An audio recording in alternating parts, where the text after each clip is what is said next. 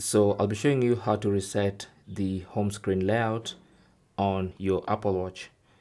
So as you know, you might be you might want to rearrange these items in the home screen of your Apple Watch.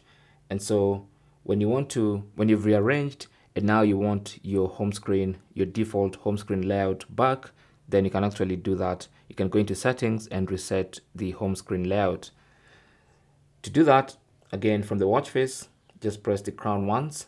That opens the home screen. Find settings.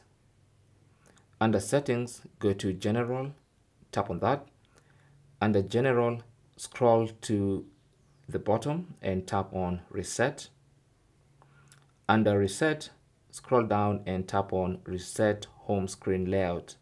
So tap on that, then it's going to tell you uh, this will reset your home screen layout to factory defaults. So go ahead and tap on reset home screen and that's going to reset the arrangement of the icons on your home screen. Thanks for watching. Leave your comments and questions down below and good luck.